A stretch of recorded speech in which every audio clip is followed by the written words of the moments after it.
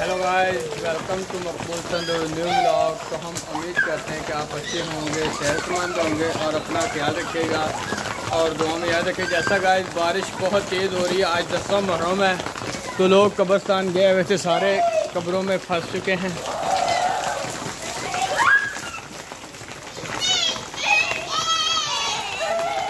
तो भाई जैसा कि आप लोग पता, आज दसवें मुहर्रम की वजह से ना हमें भैंस के लिए चारा नहीं मिला। तो वो हम बाहर से काट के लाए हैं। तो वो अभी वो बाती वाले टोके से उसे कटेंगे, यानी कि तो कुतरेंगे पट्ठों को और फिर भैंस को डालेंगे जैसे मरम की वजह से तमाम चीज़ें बंद पट्ठे वगैरह, हर चीज़ कोई भी नहीं, कुतरे कुतरे पट्ठे नहीं मिले। तो अभी हम वो टोके से उनको पट्ठों को सही करेंगे, कुतर के फिर जाके भैंस को डालेंगे।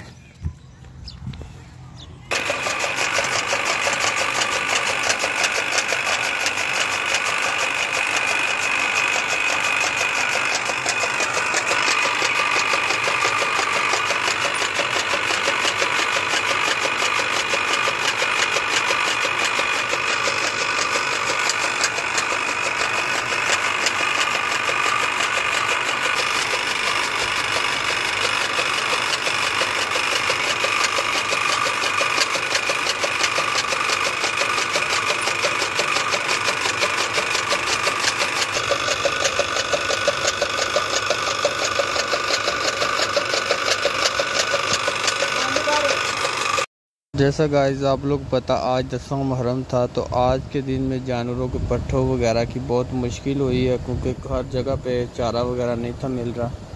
तो अभी चारा वगैरह भैंस को डाल दिया तो अभी इसका दूध निकाल रहे हैं। दूध निकाल के तो फिर चलते हैं अभी बाज़ार की तरफ़ भी जाना है। तो हमारी भैंस जो ना बहुत अच्छा है, यानी कि कोई प्रॉब्लम नहीं करती और दूध बहुत अच्छा देती है। और जैसा कि आज भैंस के लिए काफ़ी मुश्किलों का सामना करना पड़ा तो अगर आप लोग को हमारी वीडियो आज की अच्छी लगे तो हमारी वीडियो को लाइक, कमेंट, शेयर और एंड चैनल को सब्सक्राइब ज़रूर कीजिएगा। ओके, अल्लाह हाफ़ पाकिस्तान